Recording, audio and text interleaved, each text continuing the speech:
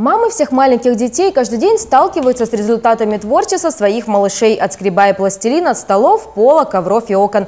Первой все это делать пришлось маме одной маленькой девочки, которая была внучка Клео Маквикера, производившего чистящие средства для обоев. Девочка решила, что это подходящие средства для воплощения ее творческих идей. Смышленная девочка предложила поиграть своему деду средством для очистки обоев от угольной пыли. Из него удалили вредные компоненты, добавили красители и миндальное масло. Так появился первый пластилин. Ученые доказали, пластилин активизирует работу центральной нервной системы, улучшая работу головного мозга. Занимаясь лепкой, малыш не только развивает воображение, творческие способности, но и мышление, память, речевые навыки. Этому помогает мелкая моторика. Кроме пластилина, дети придумали много полезных и интересных вещей. Снегоход, например, изобрел 15-летний канадец. Школьник из Америки на год старше, который очень любил прыгать, мастерил первый батут. То, что мороженый фруктовый лед начнут раскупать по всему миру, в свое время догадался 11-летний школьник. Хотя он, может быть, об этом и не думал, просто вкусно получилось. Самым маленьким изобретателем называют ребенка, который в 6 лет сконструировал игрушечный грузовик с откидным кузовом. Воспитанники детского сада Виктории еще не изобретатели, но уже фантазируют. Я бы изобрела крылья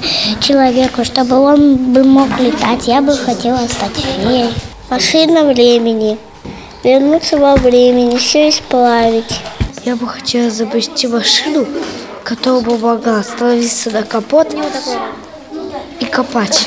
Я изобрела самолет, который мог летать и возить дома. Чтобы самолет нас возил, а мы сидели дома и смотрели, какие звезды бывают. Я э, села робокуклу. Она бы за меня всю работу делала. Какое? Читала мне книжку. Перчатки без пальцев, меховые наушники, шрифт Брайля, магнитные обои, еще десятки изобретений принадлежат детям. У них не было ни специального образования, ни научных лабораторий, ни штата сотрудников, но у них было что-то более важное – фантазия и вера в то, что все возможно, стоит только захотеть.